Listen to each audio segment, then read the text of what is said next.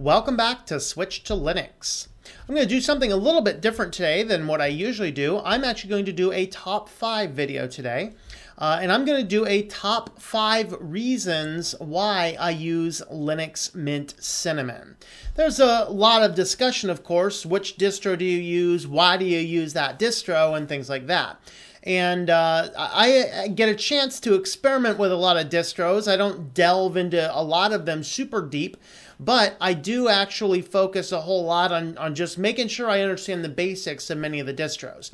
And I have chosen for most of my computers to run some version of Linux Mint. Not entirely, but my main computer I'm recording this video on is Linux Mint Cinnamon, and my main web development Linux computer is also Linux Mint Cinnamon. And there's some very uh, specific reasons why I chose Linux Mint Cinnamon as opposed to any of the other distros. I also run uh, KDE back here. This is Linux Mint KDE.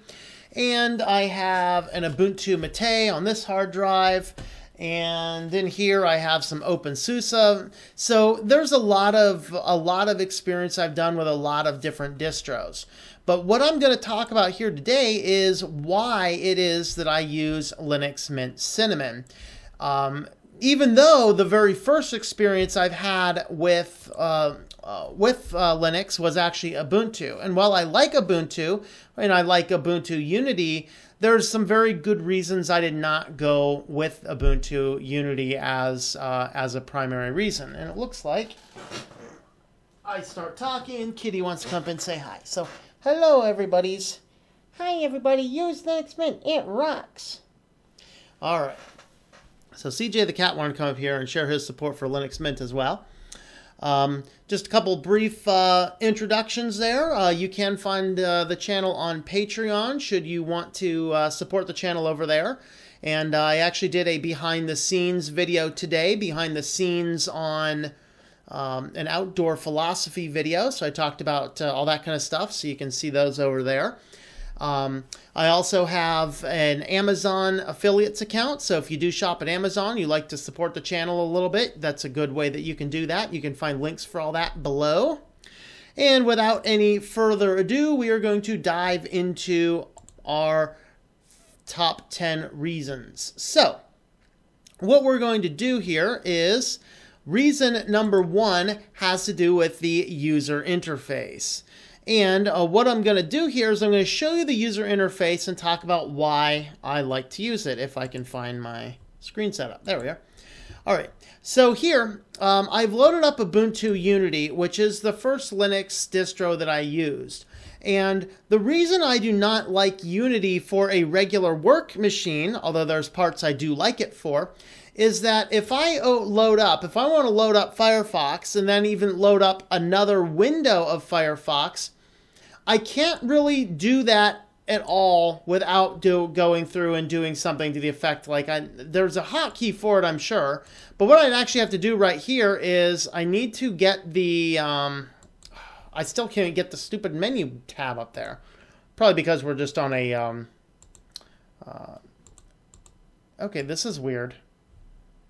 What I'm trying to get shown up there is the, um, the menu, the, the menu bar, which I need the menu bar. What I need to do is I would like to open up a new a new um, instance of Firefox. I realize there's tabs, but what I do on my work, I frequently need to be running uh, running a lot of. Uh, um, uh, I need to be running a lot of uh, different tabs, different windows. I need to be able to, to go between several different things without having having to switch between tabs. So for example, if I'm building a WordPress site, I need to keep the HTML template in one browser instance and and everything related to the HTML in that browser instance. I need to keep everything involved in the WordPress in that separate instance. And with any of these types of systems that do not have a taskbar along the bottom, I'm now locked out of this. Now, this is concerning me that I can't seem to add the toolbar up there. The basic, I know it's not the bookmarks toolbar, it's the regular toolbar. If Firefox does away with that thing, I'm going to be very upset. All right. So the problem is I can't come over here and easily do that. In fact, on this one, I can't even seem to do that. But what I need to be able to do is add a new instance, and I can't do that. And suppose I did get a separate instance, so here I can open a new window. Now I have two of them. Well, if I happen to minimize these, now I have to get back to this. I have to click on this twice and then select and figure out which one I need to load. And so I kind of get this dancing back between them, which would actually drive me crazy. And that's why I do not like using Ubuntu Unity or other Linux distros that do not have a taskbar at the bottom. So I'm going to go ahead and shut down um, this VirtualBox right now. Just get that out of my way. So on Linux Mint now, um, on Cinnamon, what I have down here is a taskbar that the interface is set up just like a Windows interface, and everything about this is exactly what I want. Everything from being able to quickly minimize all windows by going down to the uh, down to the corner down here and um, and doing that, to having multiple instances of a particular program. So if I need two Firefoxes, I have two Firefoxes. Now, what I was trying to do is if you right click this, you should be able to turn on the menu bar just like that. That's what I needed to turn on is turning on the menu bar. Um, but now I have two different instances of Firefox and I can quickly go back and forth between them all like this. And so here I can quickly navigate back and forth so the, the uh, uh, taskbar allows me to do that. So any Linux distro that I use, uh, I like the taskbar. But the other things that I like about it are out of the box, it behaves a whole lot like the Windows system, which I like the Windows ecosystem as far as its productivity. I just can't stand its spying aspect and where they're going with turning the thing into a walled garden. Okay, but what I do like about it is just the ability to click my Windows meta key, without having to program it in, in uh, any complexity. I can have access to all my different applications, and even the start menu itself behaves a whole lot like the Windows Start menu, where I can select my different categories. Of course, that's a little bit different, but I like the way that Linux organizes things. And then I can, of course, pin my most used applications over here. So I'm going to do any final edits of the video with Caden Kdenlive. I have that pinned over here. I use OBS for recording, so that's over here. And so this gives me the ability to do anything that I needed to do from the user interface perspective. Not to mention I can do the right click, I can add new documents. Of course, in Linux, I need to add them to my templates folder, but there's a lot of slick design to it. Um, the next thing I like about it, so the second factor. The first, of course, was the interface. The second thing I like about Linux Mint Cinnamon is it, for me, it is very fast and it's not buggy at all on any system I've ever tried it on. Now, a disclaimer, there are certainly some systems that it will not work as well as it will on others. And so we need to keep that in mind, that not all Linux distros work perfectly well on, on every system. But with this computer here, um, I have an AMD graphics card. If I had an NVIDIA graphics card, it'd probably work just about the same. There's proprietary drivers that I can use. I can choose to use them, choose not to use them. So out of the box, it's fast for me and it's not buggy at all. And uh, when I installed it, it ran better than Windows 10 did on the equivalent computer, i.e., the computer that I run I, I run my uh, Linux on my for my uh, web development computer. Started as a Windows 10 computer. I booted into Windows 10, verified everything worked on the thing, and then I wiped the hard drive, installed Linux Mint Cinnamon, and then the thing worked great out of the box. Not everybody has the fast and non-buggy experience, but certainly when you compare other Linux distros with uh, Linux Mint, uh, percentage of people who do not have trouble with Linux Mint is much greater than the percentage of other ones. For example, a lot of people say that how good elementary is. The problem I've encountered is from my experience, elementary just has not worked on any hardware that I've actually installed it on. Other people say it works great, and it seems to be based exclusively on the comments on my videos and comments on other people's videos and other people's uh, review videos, it's about 50 50 for elementary OS. 50% of the people have a great user experience, 50% of people don't. With Linux Mint Cinnamon, it seems as though a whole lot more people have a better experience than don't have a better experience. And so for me, that was a, a big take on my case why I like Linux Mint Cinnamon. All right. The third reason is that it feels complete out of the box. So I install Linux Mint Cinnamon and it feels like it's ready to go, but it also feels like it's they've made a lot of good choices in the software. Now I don't like in 18.1 they abandoned a, a Banshee for Rhythmbox because I don't really like Rhythmbox and I really like Banshee. But I understand the reason why they did that. It seems like Banshee's development has slowed down if it's still going at all. Nevertheless, I still have the option to install it on Linux Mint Cinnamon easily. Um, and um, I can do that on any computer. So on this computer, I haven't bothered because I don't use this computer to listen to any music on. But on my um, on my web design computer, I did indeed do that because that is my mobile computer. So I will listen to things on that. And so having a good media player is is uh, key for that computer to run well. All right. But as far as other things regarding it uh, feeling like a complete system, is out of the box, it has a whole lot of good uh, good themes to it. Now, I installed this theme separate. Uh, this is uh, pretty much exactly the type of theme I was looking for. I installed it separate. Of course, I made the, the desktop backgrounds that we'll scroll through. Um, but the theme I just simply downloaded from the uh, online repositories. But if you were wanting to, uh, if you were wanting to uh, just pick a theme out of the box, you could go with a whole lot of different themes. So you'll see this one's called Glass Mint. I grabbed it by looking through these. There's a lot of different themes that you can get, everything from newer flat UI styles that are becoming popular to older versions that are not quite so flat. You have some light themes, you have some dark themes. So there's a lot that you can do out of the box. Now, I installed a few themes that were not in the box, but most of these are, which does include older style more skeuomorphic themes, and it does include the newer style flat UI themes. So you can do any of those with it without messing with it, but they do not sacrifice some some new distros are coming out and they're just so bloated with so many themes that it just doesn't make a whole lot of sense to uh, to do that. So you have that factor to go for it as well.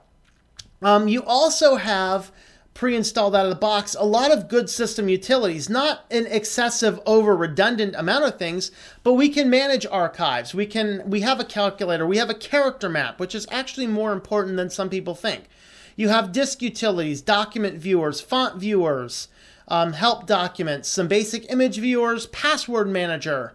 So there is a whole lot of things that you can do including the usb image writers and the stick formatters that i use on a regular basis you also have domain blockers, firewalls, uh, printer uh, abilities, software management, system monitor, a whole lot of things that really make this thing feel like a complete operating system. It doesn't feel like it's missing things. And that's one of the things that I experience on some other distros is they keep it so light to the software, and I understand that philosophy too. The philosophy is that we don't want it to be so light in software that um, that we don't experience like you know, some people want a super light system so I can merely install the stuff I want. I get that philosophy. But for me, I like an operating system, a, a particularly utilitarian operating system, to feel like a utilitarian operating system. I'm not using my computers to get on email and browse the internet. Uh, this that's not the function of my computers. My computers are tools, and I feel like like with Linux Mint Cinnamon, I have all of the necessary tools to uh, make the system work well. So, um, the next thing I like about it is the available software. The software available in Linux Mint is is very good. It is up to date. Um, I've only had to install PPAs for a few things. I think I had to install them for Simple Screen Recorder and for OBS. Um, Although OBS is starting to make its way into some repositories, as is Simple Screen Recorder, so I'm expecting that pretty soon those are going to be pretty standard um, in re- software repositories. So you can install a whole lot of other software with the system. And so let me actually transition over so you can see the, the desktop there. All right, so um, here inside the software manager, you can see the number of software is is quite extensive. In fact, going back, let's see. So there's 80. What is this? 800. Uh, 84,000. Couldn't see from back here. 84,000 software packages available, spread over all sorts of variety of uh, of different uh, uh different um, categories. And so there is a an ample amount of software available. Of course, once I've added the PPA, then I could uh, go in and uh, and install your um, uh, your other software. Although usually I just do those through the terminal. But you can see science and education, programming, font packages, Office, games, accessories. This feels like a full feature system. And from my experience, I could be wrong, but from my experience, there doesn't seem to be a lot of abandonware. And that's what seems to have happened in some of these repositories and that's why I liked some some distros' decision to uh, remove a lot of the old bloatware software, but then sometimes it feels a little bit too empty. So I'm able to access though all of the things that I need to access without a huge uh, a huge problem. And so the available software for me is a critical important thing. So my fifth reason for wanting to use Linux Mint Cinnamon is for me and for a lot of people, it just works. Out of the box, the thing just works. You have the driver utilities. Uh, in fact, if I can find those, let me uh, track those guys down. Okay, so um,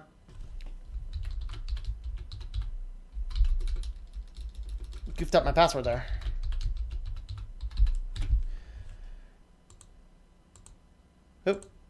My uh, driver utility showed up on my other window. Move that over there. All right, so here's a driver manager. It's what it's doing now is it's uploading the cache. So here actually I can include this. It might actually help the system performance a little bit better if I do that.